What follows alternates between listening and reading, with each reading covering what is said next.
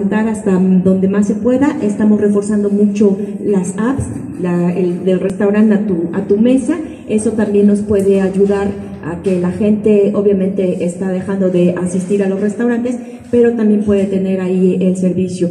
Eh, ahorita estamos en comunicación directa con, directivos de las apps para poder agilizar también, porque muchos que no estaban usando esta aplicación ya la quieren usar y pues sus tiempos entre el contrato, las fotos y todo eso es un poco eh, tardado.